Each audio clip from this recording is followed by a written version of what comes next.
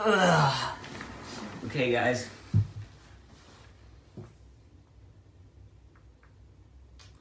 Look, I'm sorry, okay? There's a lot of people that, um, a lot of people that look up to me and they watch my videos every day thinking, man, this dude, he's great. But ever since I was a kid, my dream has been to upload daily YouTube videos and become a YouTube star. So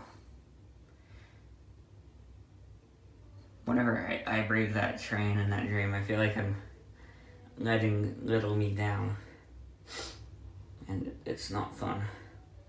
So I'm just here to tell you guys that I'm sorry, look, and I- I'm finding it hard to look straight at the camera because this is hard to say, but I hope you can understand that sometimes things just ugh, get in the way, and and and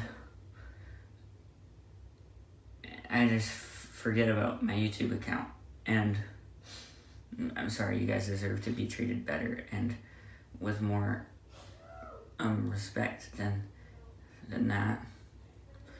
And